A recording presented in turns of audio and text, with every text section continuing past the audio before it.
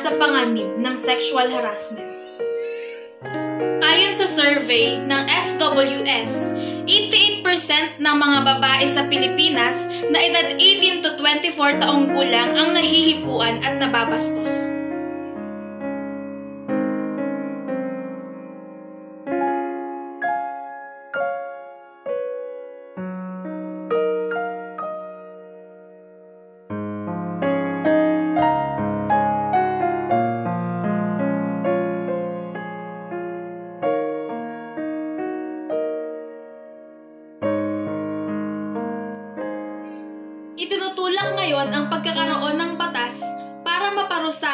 Paninipol at catcalling. Pero sapat nga ba ito para mabawasan ang pambabastos? Nag-start ako ng trabaho sa Laguna. Ang trabaho ko doon, nagsasalang ako ng, ng product. Sisalang namin siya sa makina, which is nakatayo kami, um, magdamag. Dumating yung time na nagpanggabi kami sa ship ni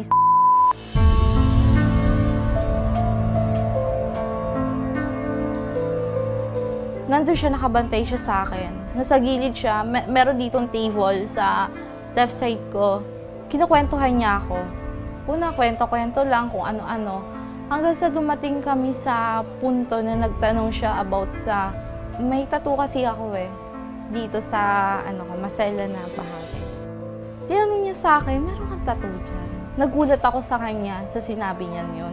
Expected ko na may magtatanong pero hindi sa kanya manggagaling. Kasi syempre, line leader ko yun eh. May respeto ako sa kanya. Hindi ko alam kung sasagutin ko ba siya. Pero umuo ako. Opo sir, kumanin ako. Tapos ano, yung kamay niya, ano na, dahan-dahan na. Dahan-dahan na siya sa ano, dito. Nararamdaman ko siya eh. Andito na eh. Napatigil ako. Yung makina namin, may, may minuto lang yun eh. May seconds lang yun. Seconds lang. Hindi ko nasalangan siya. Kasi naano ko sa ginagawa niya sa akin eh. Nanlalamig ako nun. Hindi ko alam paano ko anuhan sa kanya. Paano, ano ba yung dapat kong gawin? Sasuwayin ko ba siya? Hindi ko alam eh. Kasi trabaho lang naman hanap ko dun eh. Hindi ko in-expect na gaganunin niya ako. Hindi ko alam bakit niya ginagawa yun sa akin. Pero may respeto ako sa kanya. Andun pa rin na, hindi, leader ko to. Sige, okay lang. Tama pa ba to? Yung ganun. Hindi ko alam. Ano lang ako sa nangyayari. Hindi ako nagsasalita. Minsan, dumating sa point na habang nag-ooperate ako, ano na lang na biglang may sumasapo sa dibdib ko, sa likod. Mo yung magugulat ka? Nahihiya ako na hindi ko alam yung gagawin ko. Na parang ayoko na eh. Parang ayoko nang pumasok sa sunod na araw.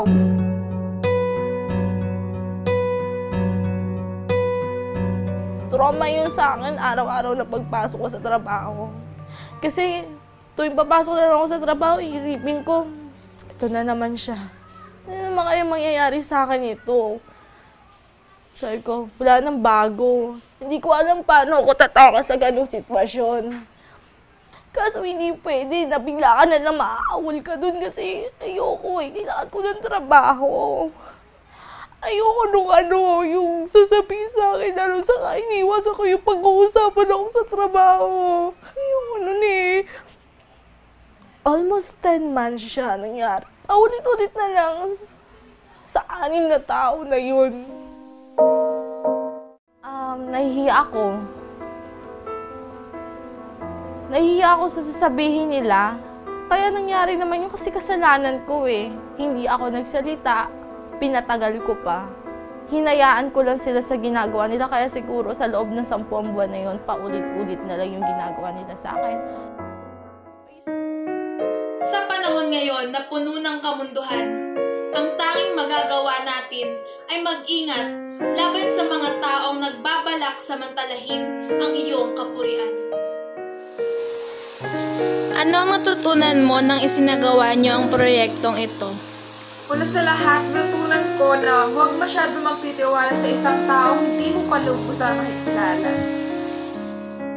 Dapat huwag tayo matakot na sabihin ito sa otoridad kung sakali man na mangyari ito sa atin.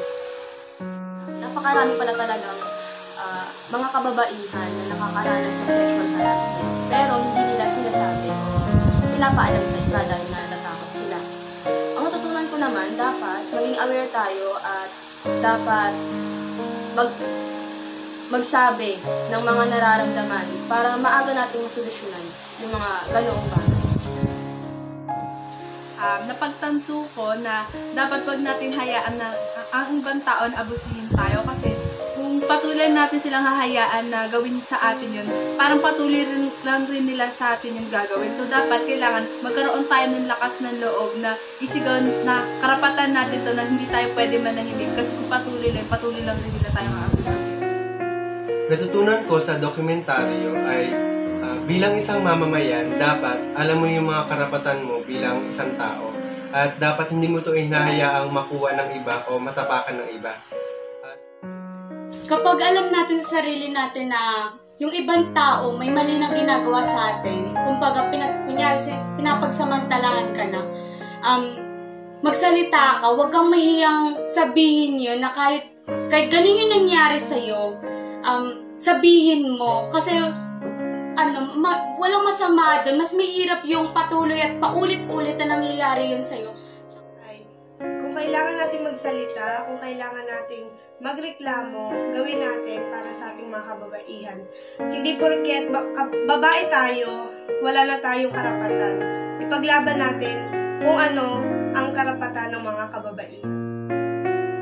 Paano mo maia-apply ang mga aral na ito sa ngayon at sa darating pang panahon?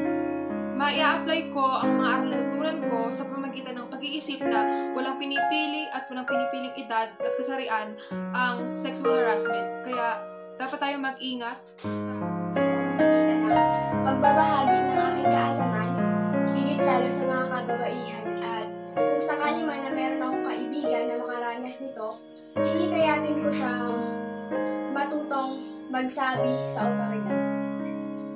Sa pamamagitan ng pag-iingat, sapagkat ah, hindi sa lahat ng oras ay ligtas ka, hindi sa lahat ng oras mga kasama mo ay matitinong tao.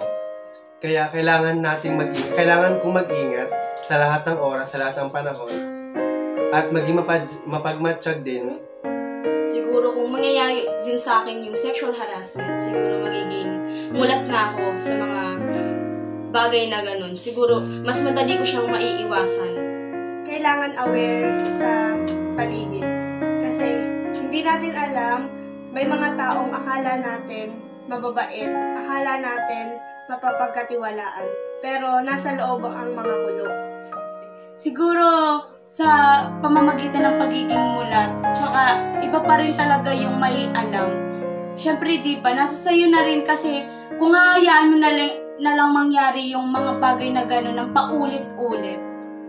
Kung mangyayari rin sa'yo ang sitwasyong ito, ano sa tingin mo ang gagawin mo? Ah, kung mangyayari man sa akin yung ganong sitwasyon, una sa lahat, hindi ko masasabi agad-agad sa mga taong malapit sa akin yung sitwasyon na yun sapagkat personal yun eh. Talagang maselang bagay. Pero sa huli siguro isipin ko na hostation na lang talaga dapat yung manaig.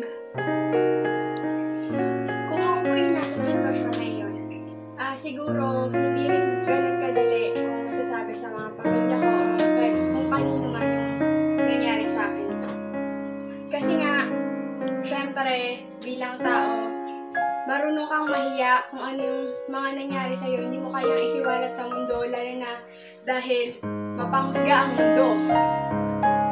Kung ako man yung nasa sitwasyon bilang isang lalaki, napakahirap maging biktima ng sexual harassment. Sobrang hirap. Pero sa tingin ko, mas mahirap itago yung problema na sa tingin kong susukuan ko na hindi ko kaya. Kaya, sa pakiramdam ko, kailangan masabi ko to sa mga, mag- mga magulang ko, lalo na sa aking ah, tatay. Kasi, syempre, pag lalaki, kailangan parang tatay mo yung sandigan mo, ganun. Siguro may apply ko na huwag kang pangunahan ng takot mo sa mga ganong pangyayari. Kasi kapag pinangunahan ka ng takot mo, hindi mo alam yung mga gagawin mo at hindi ka makakapag-isip ng tama. Dapat parang maging alert ka, maging kalmado ka na sa gayon, maal- alam mo kung ano yung gagawin mo doon.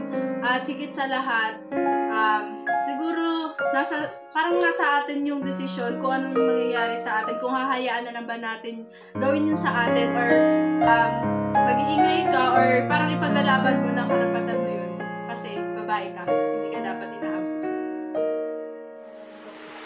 Be brave! Speak up! And stop sexual harassment!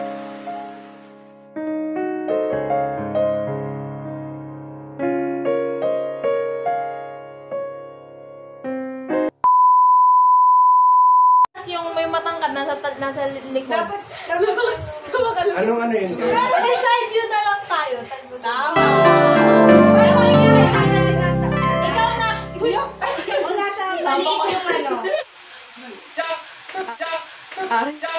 Ay. Ay. Oh, ayan o. Oh. Ano ba yan? May pagkain. na ako, yan na. Tatrayan ko, pero mamaya pa talaga. Ito na ako.